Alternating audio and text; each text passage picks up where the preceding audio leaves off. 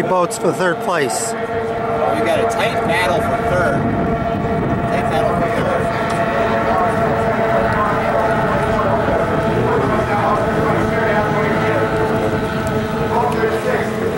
Up and coming into turn two right now. Looks like we have a solid lead for our leader for first and second. We do have a little bunch of a group for battling for third and fourth and fifth.